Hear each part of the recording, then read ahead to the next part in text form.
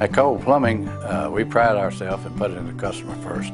We serve the Montgomery area, Tyler County, Elmore County, Coosa County, the surrounding areas. As I say, we will venture up to 50 miles if the customer needs a service. We specialize in plumbing repairs. In addition to plumbing repairs, we do relining of water lines and drain lines. Is the latest technology, and we're the only ones that currently have the technology in this area. Most cases, it can be done without any unnecessary digging, which means you don't have the demolition of your floors or walls and etc. Also at Cole Plumbing, we're uh, the local representative for the Rinnai water heater.